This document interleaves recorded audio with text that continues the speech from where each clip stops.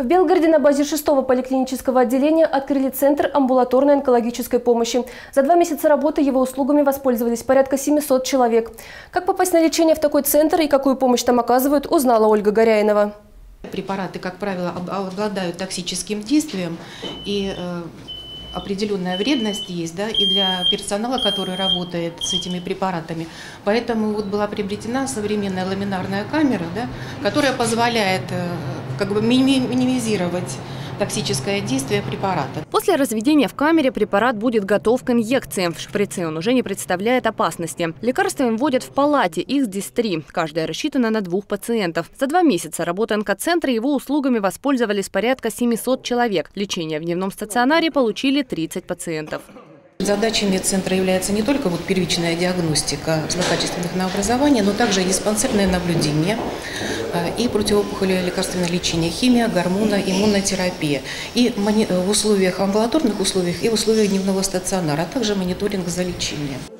Большинство пациентов здесь получают постоперационное лечение. Людмила Александрова – одна из первых пациентов онкоцентра. Несколько раз в неделю приезжает сюда на уколы. Она уверена, со своей задачей разгрузить областной онкодиспансер центр справился. Да и проходить лечение здесь психологически легче. Там много посетителей, много больных.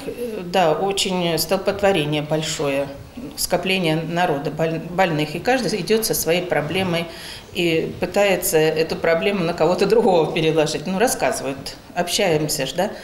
Вот.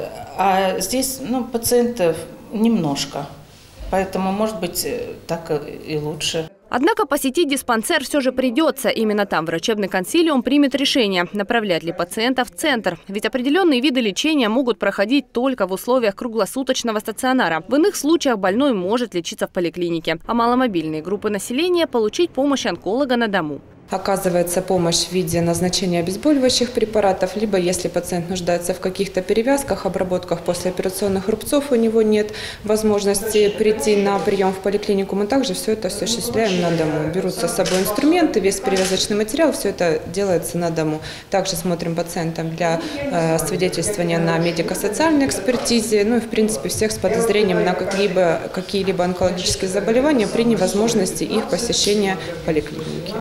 Лечение здесь доступно для всех жителей Белгорода. Всего на территории города открыты два онкоцентра в четвертом и шестом поликлинических отделениях. Их создание стало возможным благодаря программе «Борьба с онкологическими заболеваниями» в рамках национального проекта здравоохранения. Ольга Горяйнова, Александр Поддубный. К этому часу Белгород.